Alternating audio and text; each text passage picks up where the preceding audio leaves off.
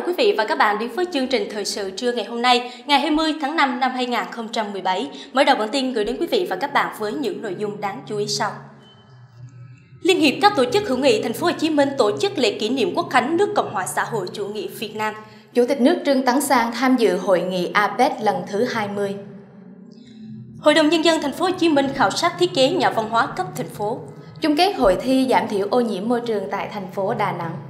Và sau đây là những nội dung chi tiết.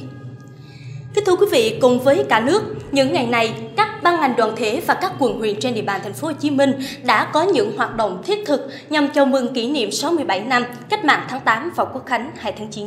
Và cũng trong sáng nay, Liên hiệp các tổ chức hữu nghị tại thành phố Hồ Chí Minh đã có buổi họp mặt đầy ý nghĩa. Nhân dịp này, với sự tham dự của các lãnh đạo Ủy ban nhân dân thành phố Hồ Chí Minh, các lãnh sự đoàn, các tổ chức nước ngoài, các tổ chức phi chính phủ tại thành phố.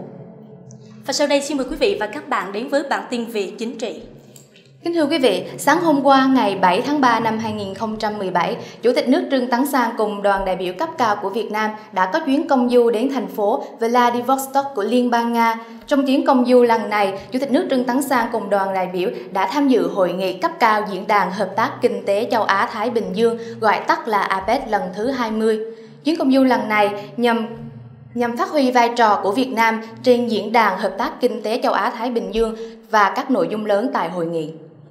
Kính thưa quý vị, tiếp tục về nội dung thiết kế văn hóa phục vụ đời sống nhân dân thành phố Hồ Chí Minh, Ban Văn hóa xã hội và Hội đồng nhân dân thành phố đã có buổi làm việc với lãnh đạo nhà văn hóa thanh niên, nhà văn hóa phụ nữ, cùng văn hóa lao động và Trung tâm văn hóa thành phố Hồ Chí Minh để nghe báo cáo tình hình hoạt động cũng như kiến nghị đề xuất của các đơn vị.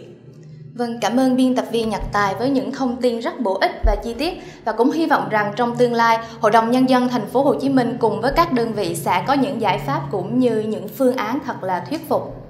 Và ngay và ngay bây giờ xin mời quý vị và các bạn cùng đến với những tin tức về môi trường.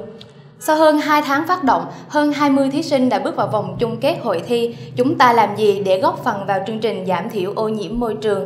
Hội thi do Hội Liên hiệp Phụ nữ phối hợp với Sở Tài nguyên và Môi trường, Sở Nông nghiệp và Phát triển Nông thôn tại Đà Nẵng thực hiện. Và tin tức về môi trường này cũng đã khép lại chương trình thời sự tối ngày hôm nay của Đài Phát thanh Truyền hình Đà Nẵng. Cảm ơn quý vị và các bạn đã quan tâm theo dõi. Thân ái, chào tạm biệt và hẹn gặp lại. Bao nhiêu ước mơ trong cuộc đời như mây trôi theo cơn gió, lãng du về đâu.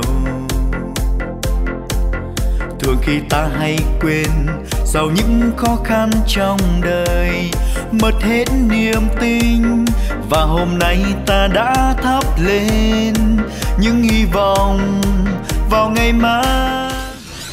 Rồng Tiên Sa Media, thăng hoa giá trị thương hiệu của bạn.